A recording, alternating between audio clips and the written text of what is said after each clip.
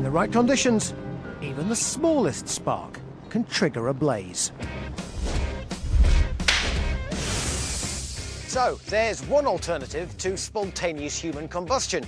But compared with what else is out there, static power is tame. There's another, even more frightening form of electricity you could be hit by. It's lightning, but with a fiery twist. In 2001, plastic surgeon Gennaro Selvaggi was called to a Belgian hospital to treat victims of a mysterious burns case. When I went to the burn unit, I interviewed the victims, the daughter, the father. I found out that it was a very mysterious uh, case of lightning. It was a terrible storming uh, uh, with lightnings everywhere. It was a real uh, thunderstorm. From the fireplace, a fireball came out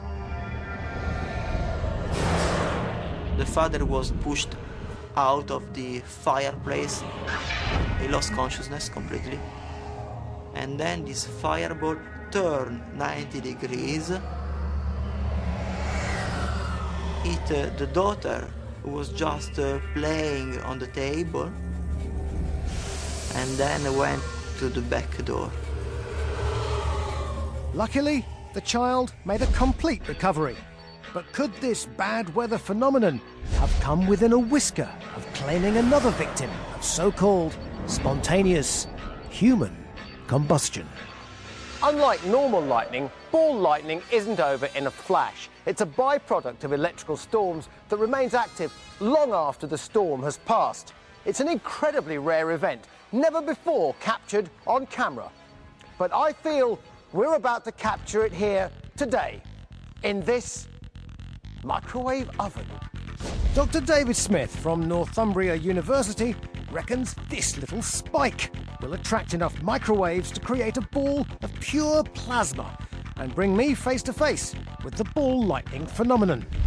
Experimenting with microwaves is highly dangerous, but these are controlled conditions, and Dr. Smith knows exactly what he's doing. Don't do this at home, folks. Shut the door. Off we go. Cool, look at that. Wow, what's going on there? Well, the steel is acting as the, the focus for the electrons. The electrons are coming off there. They're absorbing the power from the microwaves, and then when they recombine, that power is given off as heat. How, how hot is that? It's hot enough to melt the tip of the steel. The electron temperature would be a few thousand degrees. So how, how does this relate to ball lightning, as it were, in, in the wild? Okay, well, what you have around the tip is, is, is plasma, so it's very similar to that. But in ball lightning, it's free to move around. This is making a lot of smoke. Is it likely to explode? it may do. Having seen another potential source of spontaneous ignition, it was time to take a step back and let nature run its course. Coming up, having found two possible sources of ignition, I need to find out what fans the flames of spontaneous combustion. I get landed with a bumper gas bill. And find out what happens when good farts go bad. Now, would you like that happening in your underpants? I don't think so, no.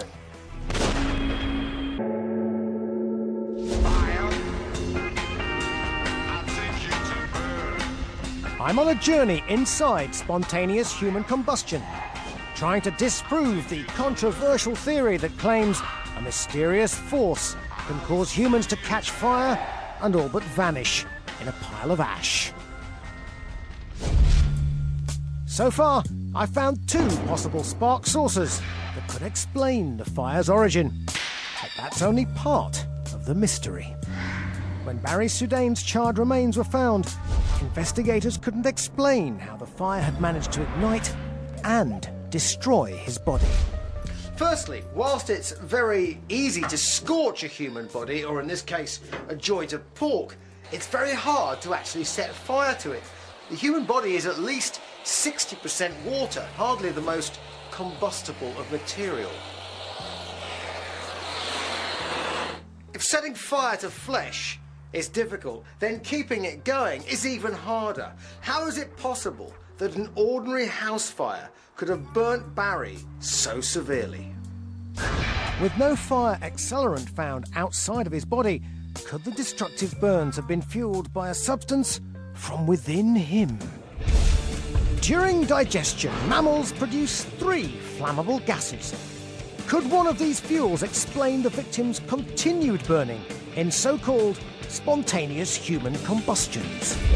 So, in my search for the suspect flame accelerant, rather than pointing the finger, it might be a case of uh, pulling it. Phew. Dog did it. Legend has it that an Australian farmer once decided to test the purity of his cow's methane output with disastrous explosive consequences. Could it be that the same fate might befall human beings, only this time without the Australian to light the match? To find out if a gas could be the phantom fuel behind spontaneous human combustions, first of all, I need to see what happens when methane goes bang.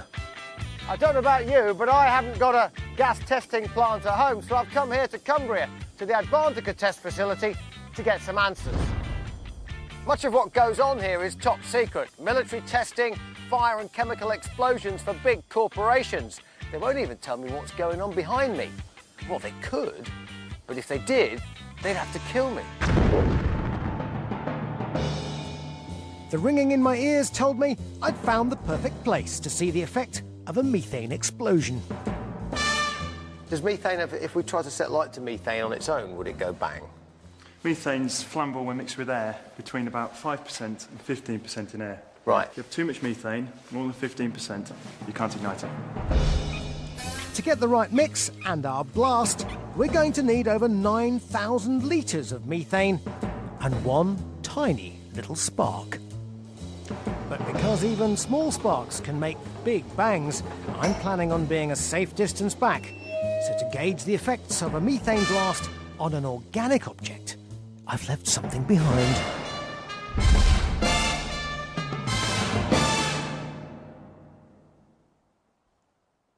Do you ever get the feeling that you might have left the gas on?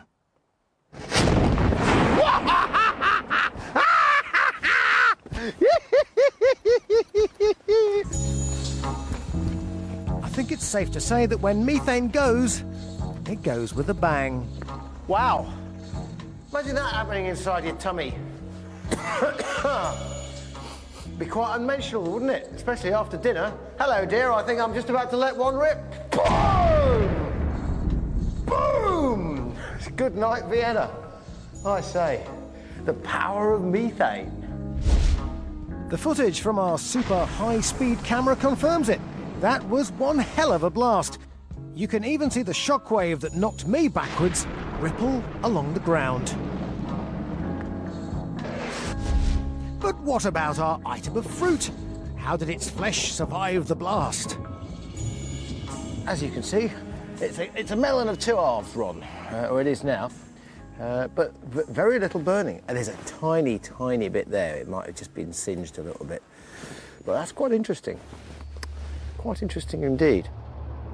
So, no burns on our melon, but that doesn't mean we can rule methane out as our fuel source. Because when gas burns slowly, it has caused humans major damage, as Robert Francis Bailey discovered. Back in 1967, homeless Bailey planned to spend the night of September the 13th holed up in a derelict building. He didn't know it, but he wouldn't live to see the night out. Fire officer Jack Stacey discovered Bailey's body. My theory, and I can't prove it, is the fact that somehow or other he had drunk something which had chemically mixed with the contents of his stomach and formed a gas which expanded in his stomach and eventually it blew out